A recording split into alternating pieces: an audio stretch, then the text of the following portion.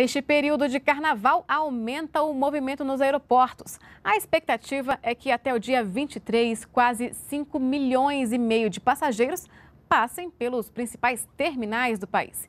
E com tanta gente voando, o passageiro precisa ficar atento aos direitos. Algumas dicas você confere agora na reportagem de Isabela Azevedo. O passageiro precisa ficar atento no caso de atraso ou cancelamento de voo. A companhia aérea é obrigada a oferecer condições para que o cliente se sinta confortável enquanto os problemas são resolvidos. A partir de uma hora de atraso, a companhia aérea deve garantir a comunicação dos passageiros, oferecendo, por exemplo, conexão via internet ou ligações telefônicas. Depois de duas horas de atraso, os clientes têm direito à alimentação.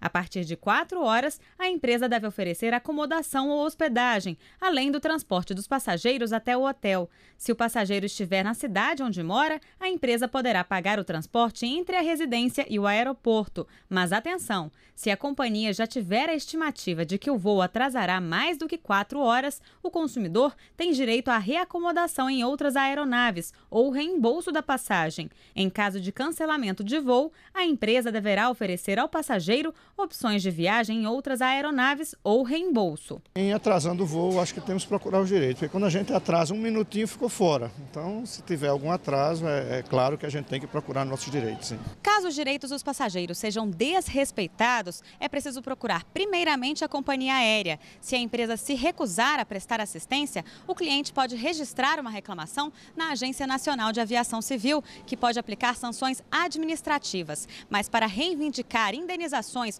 ou a devolução do valor pago pela passagem, é preciso procurar o PROCON ou a Justiça. Eu acho que tem que, tem que reclamar. É, se a gente não reclamar, eles nunca vão saber o que está errado e o que, que o cliente é, realmente exige deles. Então, acho que a gente tem que reclamar sim, tanto para a companhia quanto para a ANAC, que é o órgão que vai fiscalizar tudo isso. Se a bagagem for extraviada, o passageiro pode procurar a empresa aérea ainda na sala de desembarque para relatar o fato. Caso seja localizada pela empresa, a bagagem deverá ser devolvida para o endereço informado pelo passageiro. A bagagem poderá permanecer na condição de extraviada por no máximo 30 dias para voos nacionais e 21 dias para voos internacionais. Caso não seja localizada e entregue nesse prazo, a empresa deverá indenizar o passageiro. A companhia aérea é responsável pelas malas desde o momento em que elas são despachadas até o recebimento pelo passageiro. E outra dica para garantir a tranquilidade da viagem é ficar atento ao check-in. A apresentação após o horário estabelecido pode impossibilitar o embarque. Verifique também a documentação necessária. E boa viagem. Se não conhece os direitos que você tem, você não pode reivindicar por nada. Então a gente tem que estar atento, prestar atenção e, e brigar pelo que nós temos de direito realmente. Para mais informações e em caso de dúvidas, é só ligar para a central de atendimento da ANAC ou entrar no site que aparece aí na tela.